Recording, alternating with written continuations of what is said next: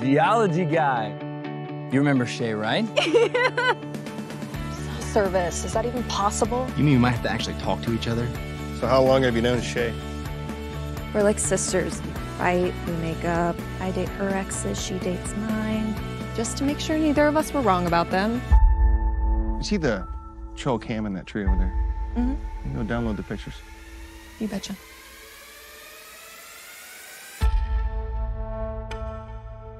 So you think your picture of the elephant might be fake, right?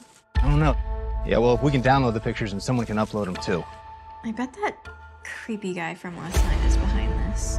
Thought it was just the three of you. And you are? Al Travis, caretaker of this place. So you're not the owner? Hadn't seen her in years.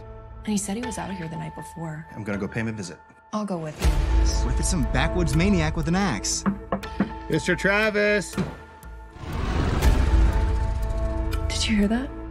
That sounded like a wounded coyote. That sound like a coyote to you? No, no, no, don't touch me, don't hurt me. They came for us last night. Who came for you? They've always left us alone. I'm staying in Lake Hollow Road. There's something not right. Who are they? They always left us alone. They never took us. They, they, they. Who are they? As creepy as this is, I still don't believe in monsters. You know anything about that? Locals say it's some kind of spirit. Those look human.